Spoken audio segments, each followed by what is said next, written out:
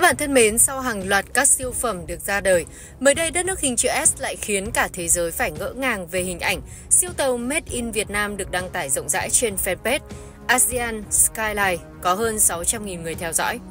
Bài đăng này đã nhanh chóng thu hút được rất nhiều bình luận của cư dân mạng đến từ khắp nơi trên thế giới. Hầu hết mọi người đều tán thưởng và bày tỏ sự thán phục trước một Việt Nam phát triển không ngừng. Vậy bạn có biết siêu tàu vừa mới được Việt Nam trình làng có gì đặc biệt mà lại khiến cho người người trầm trồ như thế hay không? Hãy cùng chúng tôi khám phá ngay bây giờ. Và đừng quên nhấn nút like, share, subscribe để ủng hộ cho kênh Hiểu Biết Hơn mỗi ngày bạn nhé. Vâng, vào ngày 19 tháng 6 vừa qua, trang fanpage ASEAN Skyline đã cho đăng tải những hình ảnh bắt mắt về siêu du thuyền Grand Pioneers Cruise hay Ascent Grand Cruise với nội dung như sau. Việt Nam không chỉ là một cường quốc đóng tàu hàng đầu khu vực, họ còn đang nổi lên như một nhà đóng tàu du thuyền chuyên nghiệp. Bởi siêu du thuyền đôi Grand Pioneers Cruise được xem là niềm tự hào của Việt Nam với kích thước lớn nhất từ trước đến nay do người Việt thiết kế và thi công hoàn toàn. Phía dưới bài đăng này, rất nhiều cư dân mạng quốc tế đã để lại những lời chúc mừng, tán thưởng về điều mà Việt Nam vừa làm cho mình. Chẳng hạn như là có không biết những bình luận kiểu như thật tuyệt vời, quá đẳng cấp, Việt Nam số 1, xin chúc mừng Việt Nam. Ngoài ra còn có một số bình luận cà khịa những người từng chê bai Việt Nam rằng đến cái ốc vít còn không làm được, như ẹc. Con ốc vít này to quá Việt Nam ơi. Thế mà mấy ông Indo cứ khịa Việt Nam không đóng được tàu, chả hiểu kiểu gì. Mang mấy tàu chiến ra khoe mãi thế nhở. Riêng các cư dân mạng Việt Nam thì lại tỏ ra vô cùng tự hào khi nước nhà cho ra mắt bộ đôi siêu phẩm Grand Pioneer Cruise, vừa là biểu tượng của sự sang trọng, vừa là minh chứng cho thấy sự tiên tiến và đột phá của đất nước trong ngành thiết kế du thuyền hiện giờ. Chúng đã được trang tạp chí doanh nghiệp và đầu tư mô tả chi tiết như sau. Cặp đôi du thuyền Grand Pioneers 1 và 2 được đóng mới hoàn toàn tại công ty trách nhiệm hữu hạn một thành viên đóng tàu Hạ Long với chiều dài L Mark 109,99m, chiều rộng B Mark 18,68m, sức chứa lên tới 230 khách. Vào thời điểm hiện tại, Grand Pioneer đang là hai con tàu du lịch lớn nhất trên vùng biển Việt Nam. Điều vượt trội nhất là cả hai chiếc siêu du thuyền này đều được cấp chứng chỉ VRSB nên đủ điều kiện để thực hiện hải trình đi qua các vùng nước ven biển thuộc lãnh hải Việt Nam. Grand Pioneers mang thiết kế sang trọng, khỏe khoắn với nét cắt táo bạo ở thân tàu, đem cảm giác mạnh mẽ, vững chãi nhưng vẫn ẩn chứa nét mềm mại uyển chuyển như những con sóng. Thiết kế chiếm ưu thế về độ thoáng với săn deck rộng, ban công hoặc là cửa kính lớn ở mỗi phòng, đem lại tầm nhìn lý tưởng để du khách chiêm ngưỡng trọn vẹn vẻ đẹp của Hạ Long ngay trong các cabin phòng nghỉ. Hai du thuyền được trang thiết bị phân ly dầu nước 15 ppm theo quy định của ANET 4 Mapol 73 trên 78 về nước thải. Nó được nhập khẩu từ hãng Hanjong Hàn Quốc và được tổ chức đăng kiểm KA Hàn Quốc, đăng kiểm VIA Việt Nam, cấp giấy chứng nhận. Theo đó, thiết bị này đảm bảo được khả năng xử lý dầu trong nước thải đạt tiêu chuẩn quốc tế và đáp ứng được cả yêu cầu của ANEC 4 Mapol 73 trên 78. Ngoài ra, để đáp ứng quy định cột A của Ban Quản lý Vịnh Hạ Long, du thuyền đã được lắp thêm hệ thống lọc sử dụng vi sinh, vi khuẩn yếm khí và hiếu khí, tăng thêm độ an toàn về bảo vệ môi trường nước biển. Siêu du thuyền được lắp đặt hệ thống điều hòa chiller của Daikin Nhật Bản, theo tiêu chuẩn của các siêu du thuyền 5-6 sao quốc tế. Điểm khác biệt nằm ở chỗ, nếu như hệ thống điều hòa truyền thống sử dụng khí ga để làm mát và thải trực tiếp khí nóng ra ngoài môi trường, thì hệ thống điều hòa chiller sử dụng chất tải lạnh với chính nước biển làm chất giải nhiệt hiệu quả. Thêm vào đó, hệ điều hòa chiller cũng được vận hành tối ưu bởi hệ thống BMS, giúp quản lý hiệu suất một cách hiệu quả hơn, giảm số lượng nhân viên vận hành đáng kể hơn, tự động điều chỉnh nhiệt độ và không gian làm lạnh tốt hơn để tiết kiệm năng lượng tiêu thụ lên tới 30% so với bình thường. Với giá trị đầu tư gấp 3-4 lần so với các siêu phẩm khác, Grand Pioneers là du thuyền duy nhất trên Vịnh Hạ Long sử dụng loại sơn cao cấp của hãng International Paint Hà Lan. Đây là loại sơn thân thiện với môi trường, có khả năng chống hà bằng cách loại bỏ hà, gel, shell polishing, không dùng hóa chất độc hại thải ra môi trường nước, được đăng kiểm các nước phát triển và IMO phê chuẩn. Ngoài ra, việc thi công sơn được thực hiện theo quy chuẩn PSPC, làm cho nước sơn có độ bền lên tới hơn 15 năm, bảo vệ vỏ tàu và các kết cấu thép bên trong, chống lại sự ăn mòn nước biển.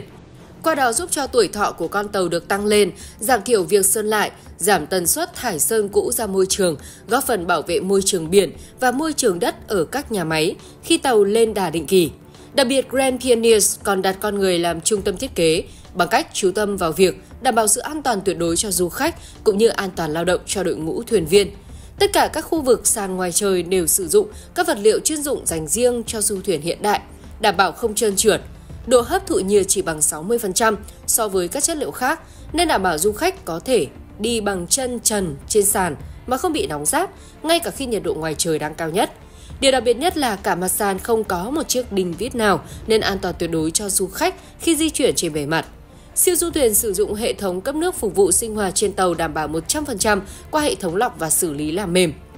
Do vậy, nước cung cấp trên tàu đảm bảo các yêu cầu vệ sinh an toàn hiện hành. Đồng thời, hệ thống heat pump cũng được lựa chọn sử dụng để gia nhiệt cho hệ thống nước nóng sử dụng trên tàu. Vì thế, nước nóng sinh hoạt và nước bể bơi ấm luôn được đảm bảo. Không những thế, hệ thống này còn đảm bảo an toàn điện tuyệt đối cho du khách nhờ sử dụng ga lạnh để làm nóng nước, tiết kiệm 75% năng lượng điện tiêu thụ để sản xuất nước nóng so với phương pháp dùng điện truyền thống. Đặc biệt nó còn có khả năng tối ưu hoàn toàn khi được bố trí buồng máy để hấp thụ nhiệt do các thiết bị khác tỏa ra và làm nóng nước. Như vậy mà buồng máy cũng có nhiệt độ tối ưu giúp tăng tuổi thọ cho các trang thiết bị cũng như môi trường làm việc cho thuyền viên trên du thuyền. Về hệ thống điện, nó được cung cấp từ biến áp cách ly giữa điện cao áp và thấp áp, đồng thời giảm xung sóng điện đối với các thiết bị sử dụng trên tàu để đảm bảo an toàn tối đa cho người sử dụng và giảm thiểu lượng điện tiêu thụ cho 100% đèn LED được lắp đặt. Trong đó các dòng máy chính và máy phát điện được nhập khẩu chính hãng từ hãng máy Janma của Nhật Bản. Thiết bị được sản xuất đạt tiêu chuẩn về nồng độ phát thải NOx theo quy định của Annex 6, đồng thời được Tổ chức Hàng hải Quốc tế IMO và đăng kiểm NK Nhật Bản, đăng kiểm VIA Việt Nam cấp giấy chứng nhận. Du khách cũng có thể yên tâm là hệ thống phòng cháy chữa cháy và cứu hộ cứu nạn trên tàu đã được kiểm duyệt, cấp phép bởi Cục Phòng cháy chữa cháy về đảm bảo an toàn hệ thống cho du thuyền.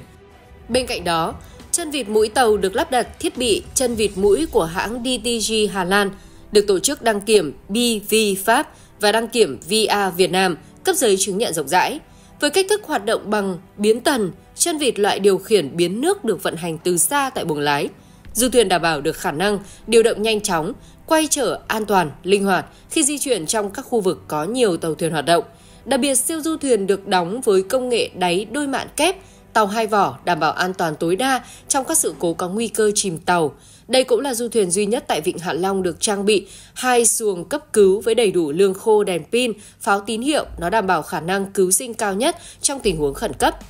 Hơn nữa, du thuyền cao cấp cũng được trang bị 12 phao bè tự thổi, được sử dụng khi xảy ra sự cố chìm tàu. Như vậy có thể thấy, siêu du thuyền Grand Pioneers đáp ứng được đầy đủ các tiêu chí hiện đại, sang trọng, an toàn và cả tiêu chuẩn xanh rất được đề cao hiện nay. Nó góp phần bảo vệ sự bền vững của cảnh quan môi trường và hệ sinh thái của kỳ quan Vịnh Hạ Long, đồng thời định nghĩa lại giá trị trải nghiệm du lịch xanh trên di sản cho du khách trong ngoài nước. Theo đó, sự ra đời của siêu phẩm này sẽ khơi nguồn cho sự phát triển của cả một quần thể du lịch xanh với quy mô không thua kém gì các quốc gia phát triển. Nó có thể đưa Việt Nam trở thành điểm đến hấp dẫn hàng đầu thế giới về du lịch sinh thái và du lịch di sản được ưa chuộng hiện giờ.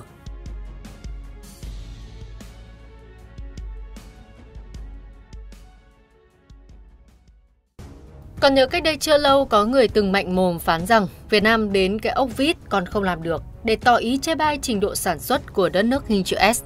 Lúc đấy Việt Nam chỉ im lặng, không nói gì, cũng như không đưa ra bất kỳ sự phản biện nào. ấy thế nhưng Việt Nam lại dùng hành động để chứng minh năng lực của chính mình. Minh chứng là mới đây Việt Nam đã khiến cho kẻ từng coi thường mình phải im bặt khi cho hạ thủy thành công con tàu chở hàng lớn nhất lịch sử nước nhà. Vậy cụ thể hơn, con tàu Made by Việt Nam có gì đặc biệt mà trở thành niềm tự hào của nước Việt? Sự kiện hạ thủy con tàu chở hàng to khủng này được diễn ra ra sao mà khiến cả thế giới phải ngỡ ngàng? Vâng, chúng ta sẽ cùng nhau tìm hiểu ngay sau đây. Nhưng trước khi đi vào nội dung chính, các bạn đừng quên nhấn nút like, share, subscribe và bấm vào chuông thông báo để ủng hộ cho kênh hiểu biết hơn mỗi ngày bạn nhé. Các bạn thân mến, theo trang tin Bộ Giao thông Vận tải Việt Nam cho biết, chiều ngày 11 tháng 5 năm 2024 tại Hải Phòng, công ty trách nhiệm hữu hạn một thành viên đóng tàu Nam triệu SBIC đã hạ thủy thành công tàu hàng rời 65.000 DWT số 1 đồng thời làm lễ đặt ki tàu chở hàng trọng tải lớn cùng loại số 02. Tại buổi lễ hạ thủy, Tổng Giám đốc Công ty trách nhiệm hữu hạn một thành viên đóng tàu Nam triệu Vũ Thanh Tùng cho biết tàu Trường Minh Dream 01 được công ty thi công đóng mới cho chủ tàu là công ty cổ phần công nghiệp tàu thủy Đông Bắc. Đây là con tàu thứ nhất trong lô 2 tàu 65.000 DWT được công ty công nghiệp tàu thủy Đông Bắc đặt hàng. Tàu thuộc dự án đóng tàu có trọng tải lớn nhất từ trước đến giờ. Chi tiết hơn, Trường Minh Dream 01 có trọng tải toàn phần 65.000 DWT, chiều dài tổng thể là 199,99 m, chiều rộng 32,26 m, tổng dung tích là 35.825 GT. Tàu do liên doanh công ty cổ phần kỹ thuật đóng tàu Việt Nam Vcheck với công ty BlueStack Phần Lan thiết kế có nhiều tính năng vượt trội so với các dòng sản phẩm cùng loại trên thế giới. Toàn bộ các công đoạn chế tạo con tàu này đều do đội ngũ kỹ sư và công nhân lành nghề của công ty đóng tàu Nam Triệu cùng với các nhà thầu trong nước thực hiện, đồng thời nó được thiết kế đóng mới và lắp đặt các trang thiết bị hiện đại, thỏa mãn các công ước quốc tế mới nhất. Hiện tại tàu Trường Minh Dream 01 được cơ quan đăng kiểm NK Nhật Bản phân cấp để có thể hoạt động trên tất cả các vùng biển quốc tế cũng như thỏa mãn yêu cầu của tất cả các cảng biển trên toàn cầu. Theo đó, tại lễ hạ thủy, ông Nguyễn Văn Trí, giám đốc công ty cổ phần công nghiệp tàu thủy Đông Bắc nhấn mạnh đây là con tàu chở hàng lớn nhất được đóng tại Việt Nam đến thời điểm hiện nay và cũng là dòng tàu đạt tiêu chuẩn khắt khe của EU. Ngoài ra, đại diện chủ tàu còn nhấn mạnh rằng dựa trên cơ sở hợp tác tốt đẹp thời gian qua, chúng tôi tin tưởng giao nhà máy đóng tàu 5 triệu thi công tiếp tàu 65.000 DWT số 2 với yêu cầu chất lượng tốt hơn và thời gian thi công được rút ngắn hơn nữa. Tiếp lời quyền Tổng Giám đốc Tổng Công ty Công nghiệp Tàu Thủy, Trần Mạnh Hà đã gửi lời chúc mừng hai đơn vị đóng tàu Nam Triệu và Công nghiệp Tàu Thủy Đông Bắc hạ thủy thành công con tàu chở hàng tải trọng lớn, đồng thời yêu cầu công ty đóng tàu Nam Triệu tiếp tục tập trung mọi nguồn lực, nỗ lực vượt qua khó khăn, sớm hoàn thiện tàu 65.000 DWT số 1 để bàn giao cho khách hàng sau khi hạ thủy.